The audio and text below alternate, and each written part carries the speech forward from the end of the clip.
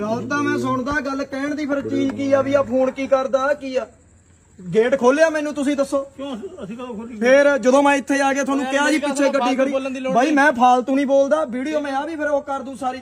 ਇੱਥੇ ਮੈਂ ਇੱਥੇ ਖੜਾ ਐਸ ਐਸਐਚਓ ਸਾਹਿਬ ਨੂੰ ਪੁੱਛੋ। ਮੈਂ ਫੋਨ ਲਾਇਆ ਟੇਕ ਸਰ ਸਿਮਰਨਜੀਤ ਸਿੰਘ ਮਾਨ ਦੇ ਦੋ ਤੇ ਫੋਨ ਤੇ ਸੀਗਾ ਚੀਕੀ ਗਿਆ ਮੈਂ ਇੱਥੇ ਖੜ ਕੇ ਗੇਟ ਨਹੀਂ ਖੋਲਿਆ ਇਹਨਾਂ ਨੇ ਮੈਨੂੰ। ਉੱਤੋਂ ਦੀ ਆ ਕੇ ਤੁਸੀਂ ਹੁਣ ਮੇਰੇ ਉੱਪਰ ਉਹ ਮਾਰਿਆਗਾ। ਆ ਹੁਣ ਤੁਸੀਂ ਦੇਖ ਲਓ, ਮੈਂ ਇੱਥੇ ਥਾਣਾ ਸਦਰ ਜਗਰਾਉਂ ਦੇ ਬਾਹਰ ਖੜਾ ਠੀਕ ਹੈ?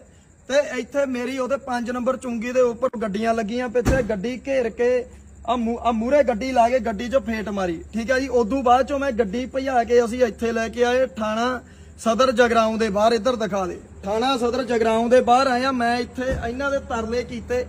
ਮੈਨੂੰ ਘੱਟੋ ਘੱਟ ਥਾਣਾ ਸਦਰ ਜਗਰਾਉਂ ਦੇ ਤੁਸੀਂ ਕੈਮਰੇ ਕਢਾਓ, ਇੱਥੇ ਕੈਮਰੇ ਲੱਗੇ ਹੋਣਗੇ ਬਾਹਰ।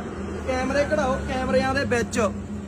ਕੈਮਰਿਆਂ ਦੇ ਵਿੱਚ ਮੈਂ ਇਹਨਾਂ ਨੂੰ ਇੱਕ ਗੱਲ ਕਹਿ ਰਿਹਾ ਕਿ ਭਾਈ ਆ ਗੇਟ ਖੋਲ ਦਿਓ, ਸਾਡੇ ਪਿੱਛੇ ਗੱਡੀਆਂ ਲੱਗੀਆਂ ਹੋਈਆਂ, ਤੁਸੀਂ ਗੱਡੀ ਦੀ ਹਾਲਤ ਦੇਖ ਲਓ। ਆ ਗੱਡੀ ਦੀ ਹਾਲਤ ਦੇਖ ਲਓ। ਉਦੋਂ ਜਦੋਂ ਮੈਂ ਜਾਲੀਆਂ ਪਿੱਛੇ ਰੌਲਾ ਪਾਇਆ ਸੀ, ਮੈਂ ਗੱਲ ਕਹੀ ਸੀ ਜੀ, ਮੈਂ ਇੰਨੀਆਂ ਦਰਖਾਸਤਾਂ ਲਿਖਾਈਆਂ ਹੋਈਆਂ, ਕੋਈ ਕਾਰਵਾਈ ਕਰ ਦਿਓ ਉਦੋਂ ਕਿਸੇ ਨੇ ਨਹੀਂ ਸੁਣੀ ਮੇਰੀ। ਠੀਕ ਹੈ ਨਾ? ਉਦੋਂ ਵੀ ਟਰੋਲ ਬਣੇ, ਮਜ਼ਾਕ ਬਣੇ। ਆ ਹੁਣ ਸਾਰੀ ਚੀਜ਼ ਤੁਹਾਡੇ ਸਾਹਮਣੇ ਆ।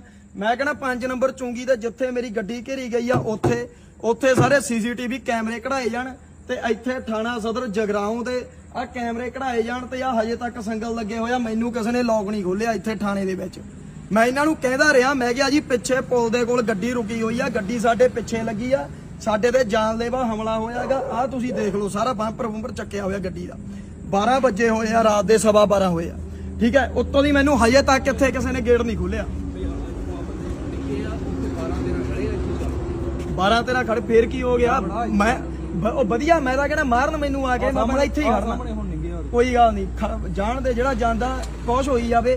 ਇੱਥੇ ਚਾਹੇ ਆਪਾਂ ਨੂੰ ਮਾਰ ਕੇ ਚਲੇ ਜਾਣ ਤਾਂ ਚਾਹੇ 13 ਬੰਦੇ ਖੜੇ ਆ ਚਾਹੇ 14 ਮੈਂ ਕਹਿੰਦਾ ਇੱਥੇ ਵੱਢ ਕੇ ਚਲੇ ਜਾਣ ਗੇਟ ਦੇ ਸਾਹਮਣੇ। ਮੈਂ ਵੀ ਕੱਲ ਨੂੰ ਦਿਖਾਉਣ ਜੋਗਾ ਹੋ ਜੂ ਹਜੇ ਤੱਕ ਮੈਨੂੰ ਇਹਨਾਂ ਨੇ ਅੰਦਰ ਤੱਕ ਨਹੀਂ ਬਾੜਿਆ ਗੇਟ ਖੋਲ ਕੇ। ਠੀਕ ਹੈ ਜੀ ਕੱਲ ਨੂੰ ਜੇ ਮੈਨੂੰ ਕੁਛ ਹੁੰਦਾ, ਮੇਰੇ ਤੇ ਝਰੀਟ ਵੀ ਆਉਂਦੀ ਆ, ਪੰਜਾਬ ਪੁਲਿਸ ਜ਼ਿੰਮੇਵਾਰ ਹੋਊਗੀ ਮੈਂ ਪਹਿਲਾਂ ਵੀ ਵੀਡੀਓ 'ਚ ਕਿਹਾ ਐਸਐਸਪੀ ਸਾਹਿਬ, ਤੁਸੀਂ ਮਾਣਯੋਗ ਹੋ ਜੀ, ਜਦੋਂ ਆਪਣਾ ਚਲਾਨ ਹੋਇਆ ਸੀਗਾ, ਠੀਕ ਹੈ ਜੀ, ਉੱਥੇ ਬਾਬਾ ਸਾਹਿਬ ਦੇ ਚੌਂਕ 'ਚ, ਉੱਥੇ ਹੀ ਮੈਂ ਵੀਡੀਓ ਪਾਈ ਆ, ਹੁਣ ਤੱਕ ਸੋਸ਼ਲ ਮੀਡੀਆ ਤੇ ਪਈ ਆ, ਤੇ ਆ ਵੀ ਆਪਣੀ ਵੀਡੀਓ ਆ ਜੀ। ਠੀਕ ਹੈ, ਹਜੇ ਤੱਕ ਆਪਾਂ ਨੂੰ ਗੇਟ ਨਹੀਂ ਖੋਲਿਆ ਮੁੰਡੇ ਨੇ ਹੁਣ ਫੇਰ ਦੱਸਿਆ, ਕਹਿੰਦਾ ਵੀ ਇੱਥੇ ਫੇਰ ਆਏ ਆ ਦੁਬਾਰੇ।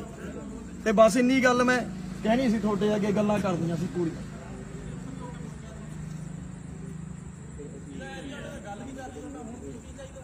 ਵੀਰੇ ਗੱਲ ਮੇਰੀ ਮੇਰੀ ਗੱਲ ਸੁਣੋ। ਓ ਯਾਰ ਗੱਲ ਕੀ ਆ? ਗੱਲ ਵੱਡੇ ਤਾਂ ਬਾਈ, ਸੁਣੀ ਜਾਂਦੇ ਆ ਕਦੋਂ ਗੱਲ ਸੁਣੀ ਜਾਂਦੇ ਯਾਰ। ਸਿਟੀ ਵਾਲਾ ਨਹੀਂ। ਸਿਟੀ ਉਸਰਾ ਕੇ ਹੋਰ ਗੱਲ ਕੀ ਇਹ ਚਾਹੀਦਾ? ਦੱਸ। ਦੇਖੋ ਜੀ ਮੈਂ ਐਸਐਸਪੀ ਸਾਹਿਬ ਤੇ ਦਰਖਾਸਤ ਲਗਾਈ ਮੈਂ ਇਹਨਾਂ ਨੂੰ ਸਰ ਨੂੰ ਆ ਕੇ ਕਿਹਾ ਜੀ ਮੈਨੂੰ ਗੇਟ ਖੋਲ ਦਿਓ ਘੰਟਾ ਪਹਿਲਾਂ। ਉਸ ਤੋਂ ਬਾਅਦ ਚੋਂ ਮੈਂ ਕਿਹਾ ਵੀ ਸਰ ਦੇਖੋ ਚਲੋ ਠੀਕ ਆ ਅਸੀਂ ਚੱਲੇ ਗੇਟ ਆ। ਖੋਲ ਤੂੰ। ਯਾਰ ਇੱਕ ਮਿੰਟ ਗੇਟ ਨਹੀਂ ਦੇਖੋ ਅਸੀਂ ਕਿਹਾ ਵੀ ਅਸੀਂ ਚੱਲੇ ਆ ਮੈਂ ਆਪਦੀ ਜੀ ਸੋਸ਼ਲ ਮੀਡੀਆ ਤੇ ਆ। ਹੁਣ ਮੇਰਾ ਹੱਕ ਆ ਜੀ ਮੈਂ ਆਪਦੀ ਵੀਡੀਓ ਬਣਾ ਕੇ ਪਾਉਣੀ ਸੀ। ਸੋਸ਼ਲ ਮੀਡੀਆ ਤੇ। ਪਾਓ, ਪਾਓ, ਵੀ ਆਹ video ਚੀਜ਼ ਪਾਓ ਤੁਸੀਂ। ਤੇ ਸਾਰ ਕੇ ਕਹਿੰਦੇ ਆ ਵੀ ਤੁਸੀਂ ਇੱਥੇ ਵੀਡੀਓ ਨਹੀਂ ਬਣਾਉਣੀ ਦੱਸੋ ਜੀ ਮੇਰਾ ਯਾਰ ਮੈਂ ਕਿਹਾ ਸਾਈਡ ਤੇ ਗੱਡੀ? ਕਰਕੇ ਬਣਾ ਲਾ ਤੈਨੂੰ ਐ ਕਹਿ ਹੋਰ ਨਹੀਂ ਕਹਾਗਾ ਤੈਨੂੰ ਫालतू ਨਹੀਂ ਯਾਰ ਕਹਿਣਾ ਮਿੰਟ ਬਾਈ ਯਾਰ ਮੈਂ ਮੇਰੀ 4 ਗੱਲ ਮਿੰਟ। ਬਣਾਉਣੀ ਸੀ ਯਾਰ 4 ਮਿੰਟ ਮੈਂ ਤਾਂ ਆਪਦੀ ਗੱਲ ਲੋਕਾਂ ਸਾਹਮਣੇ ਰੱਖਣੀ ਆ। ਯਾਰ ਸਾਹਮਣੇ ਦੱਸੋ। ਰੱਖੀ ਤੈਨੂੰ ਜਦੋਂ ਕਿਹਾ ਤਾਂ ਵੀ ਜਦੋਂ ਜਿਹੜਾ ਸਿਟੀ ਵਾਲੇ ਆ ਕੇ ਚਲੇ ਗਏ ਆ। ਹਾਂਜੀ ਸਿਟੀ ਵਾਲਾ ਤਾਂ ਸਾਰਿਆਂ ਦਾ ਬਖੂਆ ਵਾ। ਸਿਟੀ ਦਾ ਉਹ ਬਖੂਆ ਨਾ। ਪੁੱਤਰ ਇਹ ਪਿੰਡ ਜਿਹੜਾ ਥਾਣਾ ਇਹ ਪਿੰਡਾਂ ਦਾ ਥਾਣਾ। ਇਹ ਵਾਲਾ ਹੀ। ਹਾਂ। ਮੇਰਾ ਤਾਂ ਹਜੇ ਤੱਕ ਜੀ ਬਿਆਨ ਵੀ ਨਹੀਂ ਹੋਇਆ ਕੋਈ। ਕਹਿੰਦਾ ਮੇਰਾ ਬਿਆਨ ਕੋਈ ਬਿਆਨ ਫਿਰ ਤੇਰਾ ਅਸੀਂ ਲਿਖਣਾ। ਜੇ ਜੇ ਤੇਰਾ ਬਿਆਨ ਉੱਥੇ ਤੇਰੀ ਕੰਪਲੇਂਟ ਉੱਥੇ ਚੱਲਦੀ। ਹੁਣ ਮੇਰਾ ਬਿਆਨ ਸਿਟੀ ਥਾਣੇ ਚ ਹੋਊਗਾ। ਹਾਂ ਉੱਥੇ ਹੋਣਾ। ਤੇ ਦੱਸੋ ਤੁਸੀਂ ਇੱਕ ਗੱਲ ਦੱਸੋ ਜੀ ਜਦੋਂ ਮੈਂ ਆ ਕੇ ਇੱਥੇ ਚੀਕਿਆ ਮੇਰੇ ਕੈਮਰੇ ਰਿਕਾਰਡਿੰਗਾਂ ਮੇਰਾ ਗੇਟ ਖੋਲਣ ਦਾ ਹੱਕ ਸੀਗਾ ਕਿ ਨਹੀਂ ਸੀ ਇਹਨਾਂ ਦਾ ਜੀ? ਦੱਸੋ ਮੈਨੂੰ। ਮੈਂ ਕਿਹਾ ਜੀ ਮੇਰੇ ਪਿੱਛੇ ਬੰਦੇ ਲੱਗੇ ਆ ਮੈਨੂੰ ਗੇਟ ਖੋਲ ਦਿਓ ਗੇਟ ਖੋਲ ਦਿਓ। ਡੇਢ ਘੰਟਾ ਹੋ ਗਿਆ ਜੀ ਦੱਸੋ ਮੈਨੂੰ ਗੇਟ ਨਹੀਂ ਖੋਲ੍ਹਿਆ। ਸਿਟੀ ਵਾਲੇ ਆਏ ਤਾਂ ਹੁਣ ਮੈਨੂੰ ਦੱਸ ਦਿਓ ਇਹ ਵੀ ਸਿਟੀ ਵਾਲੇ ਇੱਥੇ ਆਏ ਨਾ। ਆ ਗਏ ਨਾ ਸਿਟੀ ਵਾਲੇ? ਆ ਗਏ ਨਾ। ਉਹ ਵੀ ਮੈਂ ਫੋਨ ਲਾ ਕੇ ਸੱਦੇ ਆ ਜੀ। ਮਤਲਬ ਸੱਦੇ ਤੇ ਫਿਰ ਵੀਡੀਓ ਤੇ ਪਹੁੰਚੋ। ਉਹਨੂੰ ਨਾਲ ਲੈ ਕੇ ਗਏ ਨੇ ਸਿਟੀ ਵਾਲੇ। ਅੱਛਾ ਉਹ ਵੀ ਮੈਂ ਹੀ ਸੱਦਣੇ ਸੀ। ਚਲੋ ਠੀਕ ਹੈ ਜੀ। ਸਾਰੀ ਗੱਲਬਾਤ ਹੋ ਗਈ ਤੇ ਐਸਐਸਪੀ ਸਾਹਿਬ ਦੇ ਅੱਗੇ ਮੈਂ ਦੁਬਾਰੇ ਫੇਰ ਹੱਥ ਜੋੜਤੇ ਐਸਐਸਪੀ ਸਾਹਿਬ। ਤੇ ਅੱਗੇ ਸਾਰਾ ਕੁਝ ਸੀਗਾ ਹੁਣ ਸਾਰਾ ਸਬੂਤ ਆ ਜੀ। 5 ਨੰਬਰ ਚੁੰਗੀ ਦਾ ਤੇ 5 ਨੰਬਰ ਚੁੰਗੀ ਦੇ ਉੱਪਰ ਉੱਥੇ ਕੈਮਰੇ ਖਲਾਏ ਜਾਣ। ਤੇ ਮੈਂ ਪਹਿਲਾਂ ਵੀ ਜਦੋਂ ਚਲਾਨ ਵਾਲੀ ਵੀਡੀਓ ਸਾਰੀ ਦੁਨੀਆ ਨੇ ਦੇਖੀ ਆ ਘੱਟੋ ਘੱਟ 10 ਲੱਖ ਬੰਦੇ ਨੇ ਦੇਖੀ ਆ ਵੀਡੀਓ ਮੇਰੀ ਇੱਥੇ ਜਦੋਂ ਮੇਰੀ ਗੱਡੀ ਦੇ ਜਾਲੀਆਂ ਲੱਗੀਆਂ ਹੋਈਆਂ ਸੀ।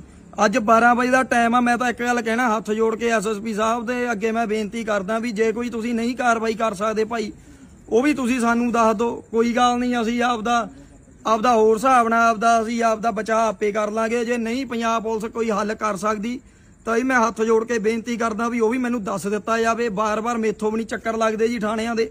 ਬਾਰ-ਬਾਰ ਮੇਥੋਂ ਵੀ ਨਹੀਂ ਖੱਜਲ ਖਵਾਰੀ ਹੋਈ ਜਾਂਦੀ। ਜਾਂ ਕੋ ਹੋਰ ਜਾਂ ਪਿੱਛੇ ਗੱਡੀਆਂ ਲੱਗੀਆਂ।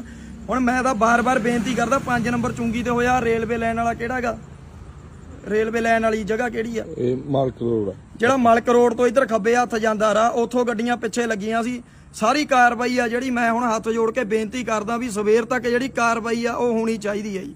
ਬਸ ਇੰਨੀਆਂ ਮੈਂ ਬੇਨਤੀਆਂ ਕਰਨੀਆਂ ਤੁਹਾਡੇ ਚਰਨਾਂ 'ਚ। ਵਾਹਿਗੁਰੂ ਜੀ ਕਾ ਖਾਲਸਾ ਵਾਹਿਗੁਰੂ ਜੀ ਕੀ ਫਤਿਹ।